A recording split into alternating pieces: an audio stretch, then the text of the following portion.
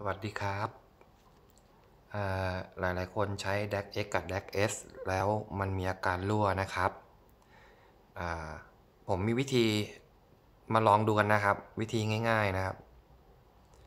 ว่าแต่ผมมาใช้แล้วได้ผลนะครับ อันนี้คือผมใช้แม่งทุกวันนะครับนะฮะไม่มีอาการรั่วเลยไหมลองดูนะครับ เพราะว่า อาจจะมีประโยชน์ไม่มากก็น้อยก็ลองกันดูนะครับ แต่ส่วนตัวเนี่ยทำอย่างนี้มาไม่รู้กี่คอยแล้วนะครับ ก็คือไม่มีรั่วนะครับ อันดับแรกนะครับ อันนี้คืออฝั่งที่เราเติมน้ำยานะครับ เห็นไหมคุณจะเห็นตรงขีดขีดขีดขีดตรงนี้นะฮะ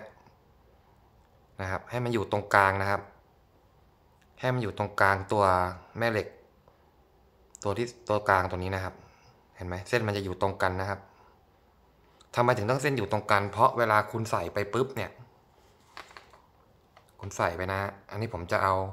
ด้านยางเนี่ยอยู่ฝั่งออโต้ลมนะครับ เพื่อว่ากันมันพลาดอีกทีนะครับ เห็นไหมครับว่าอันนี้ลักษณะนะครับ พอคุณพอตรงเส้นนี้มันอยู่ตรงกลางปุ๊บ พอคุณใส่ปั๊บรูลมมันจะพอดีกับไปตรงช่องนั้นพอดีนะครับ อันนี้ ไม่ทราบว่ามันจะเกี่ยวไม่เกี่ยวนะครับ อันนี้เป็นเทคนิคส่วนตัวนะครับ เห็นไหมครับ ตรงบากปุ๊บ พอมันอยู่ตรงกลาง บากมันจะเข้าตรงช่องลมพอดี ลองไปทำดูนะครับ ส่วนตัว ลองทำแล้วใช้ทุกวันนะครับ ไม่เคยไม่ไม่มีอาการรั่วนะครับ อันนี้ผมให้ดูนะครับ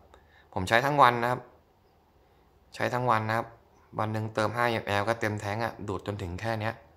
ก็ลองกันดูนะครับ เพราะว่าอันเนี้ย ใช้มาร่วมๆเดือนละ